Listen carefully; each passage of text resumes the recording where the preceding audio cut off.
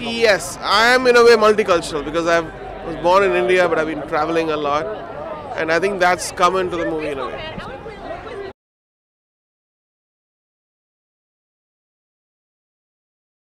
And for for me, I didn't have to keep the energy up by doing songs which are kind of a fusion, and uh, and it's an emotional journey too. So